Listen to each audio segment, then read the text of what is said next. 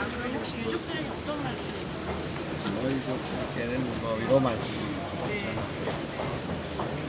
네, 박태준 회장님이 이뤄놓으신 산업과 그 산업 정신